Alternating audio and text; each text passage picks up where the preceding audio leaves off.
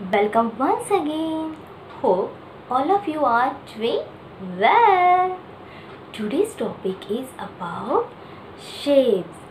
You know, kids, every object and thing has a shape, and I'm going to talk about rectangle.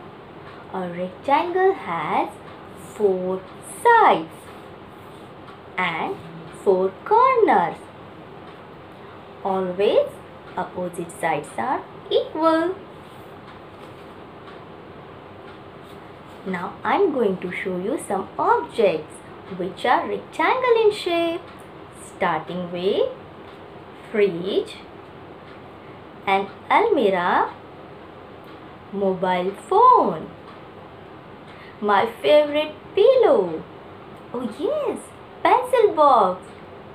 Open your pencil box yes sharpener eraser and your favorite chocolates dairy milk. Yes all these are rectangle in shape isn't it children?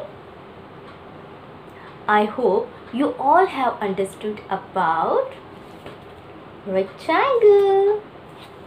So kids try to find out the rectangular objects at your home now let's all listen to the poem. After that we start with coloring